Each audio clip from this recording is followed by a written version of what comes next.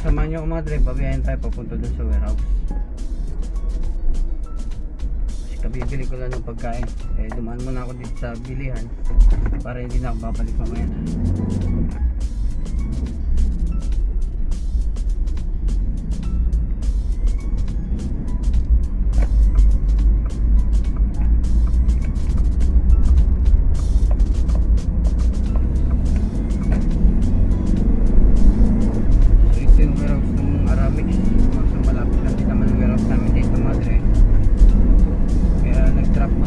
pagkain namin para mamaya nagka, habang nagkagawa ng upan ng sasakyan ko may kinakain kami madre.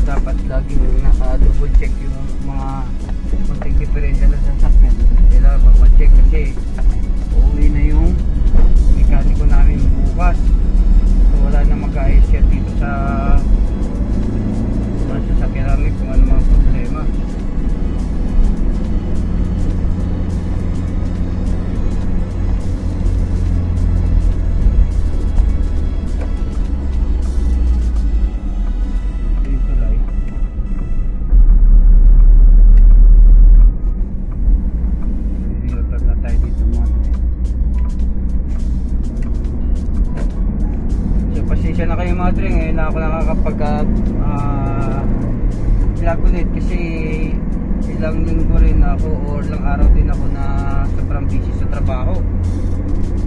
Kaya hindi, hindi ko napukusan muna yung pagpa-vlog Kasi focus muna ako sa trabaho. Ito sarado Dito, dito tayo sa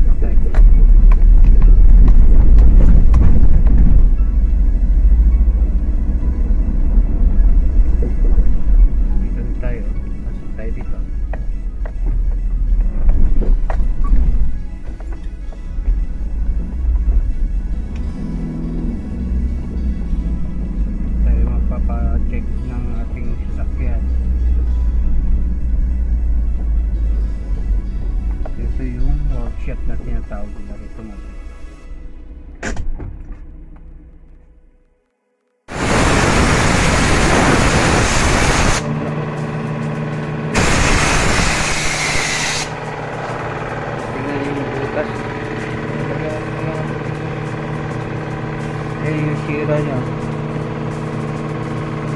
Tumatagas kasi mga dre. Ito siya. Ah, ipa-vlog ko.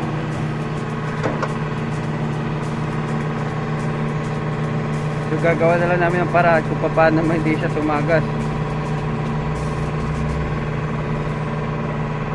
Eh, yung mekaniko namin, Pilipino. Bukas uuwi na yan. Naaamoy niya na yung Pilipinas bukas.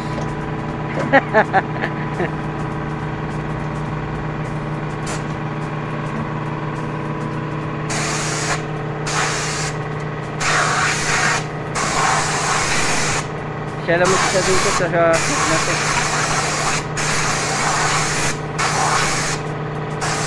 Mamaya maya, pag natuyo na yan, lalagyan namin ng ah, lalagyan niya pala ng, ng epoxy.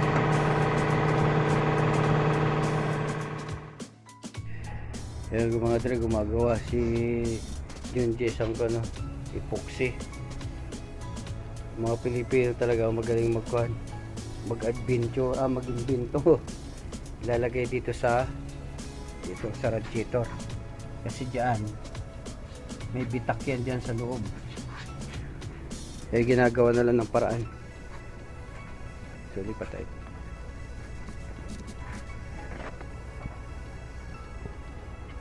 Yan para hindi siya lumabas yung tubig. Si araw-araw nagre-refill ako ng tubig.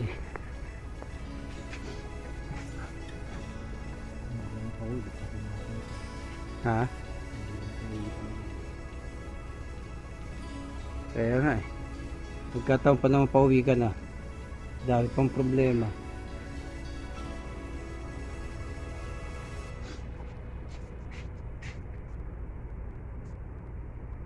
Pero na ba, na, ba napapalitan to sir? Hindi.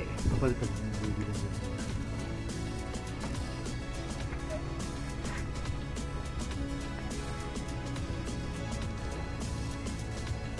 Kasi pag kasi yung kuha natin eh, purchasing eh.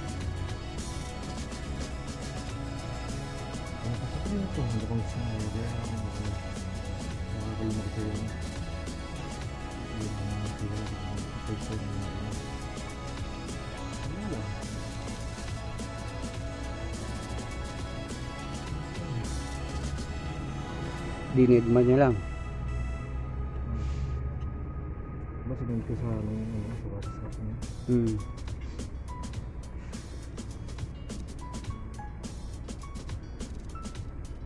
Mga 10 oras.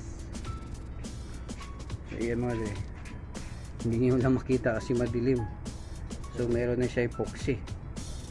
So antayin ko na lang matuyo yan bago ibiyahe ulit.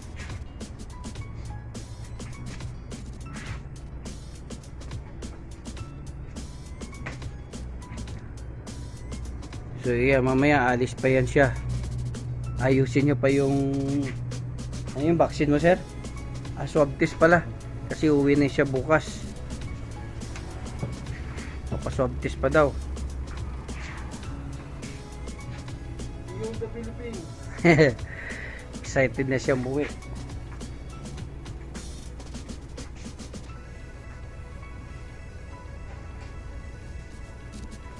So ayan mamaya may uh, ayan mga dre. So mamaya natin balikan para makita natin kung tuyo na siya o hindi. After one month daw. Say bye. Ito na mga dre, titistingan namin kung pwede na siyang gamitin. Kasi kung tuyo na yung epoxy kanina nilagay. Yan nilalagay na ờ, ng tubig.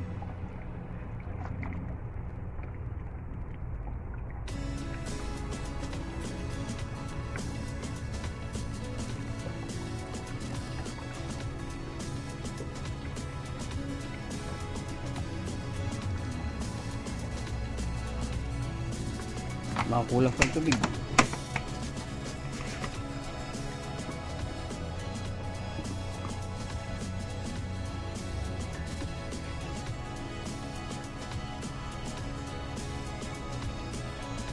Wala kang kulang sir. Wala, wala na pambili na pa. Saglit lang nandito yun eh. Busagad yun. Kulang. Kalawang na lang. Kanya-kanyang dampot yung mga driver dyan. Dapat ni- nilagay mo sa pan. Nilalagay mo sa Natago nga ako dito. Wala. 50 box.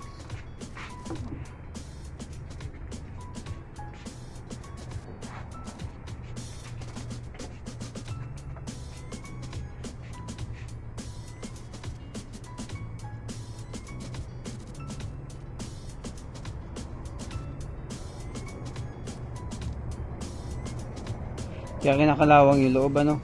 Dahil gawa nga ng kwan. Tubig na dito hindi maganda. Tubig dagat eh. Yung, so, yung dating nilagyan natin sa Kaya. Yung dating tubig yun, di ba? Local to.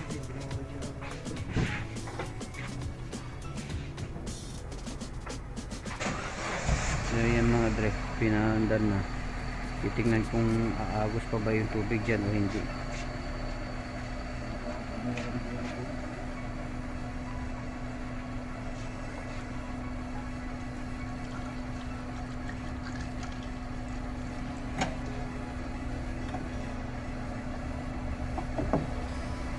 Malabas yung tubig oh. Kalawang yung labas eh.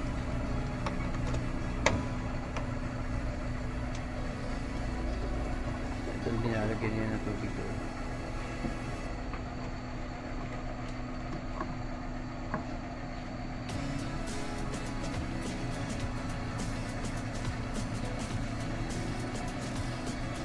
Tuyo na kagad oh. Bilis ng tuyo.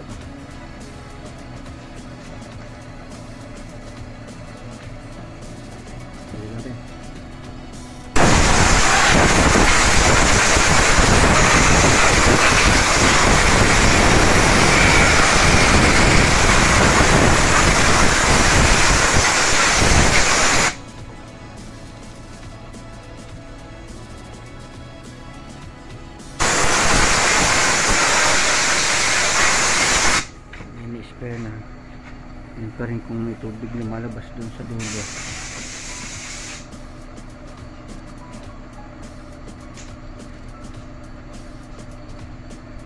So wala na mga dre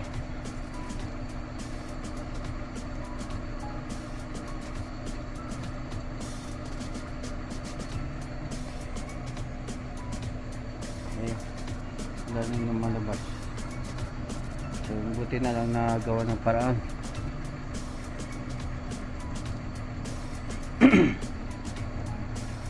shoutout nga pala dyan sa mga nanonood. Maraming maraming salamat sa inyong panonood at patuloy sa pagsubaybay sa aking pagbablog.